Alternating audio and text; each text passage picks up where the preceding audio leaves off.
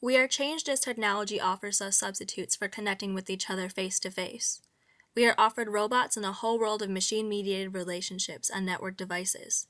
As we instant message, email, text, and Twitter, technology redraws the boundaries between intimacy and solitude. We talk of getting rid of our emails as though these notes are so much excess baggage. Teenagers avoid making telephone calls, fearful that they reveal too much. They would rather text than talk. Adults, too, choose keyboards over the human voice. It is more efficient, they say. Things that happen in real time take too much time.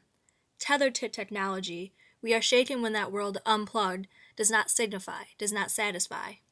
After an evening of avatar to avatar talk in a network game, we feel at one moment in possession of a full social life and in the next curiously isolated, in tenuous complicity with strangers.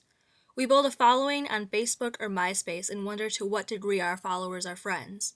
We recreate ourselves as online persona and give ourselves new bodies, homes, jobs, and romances.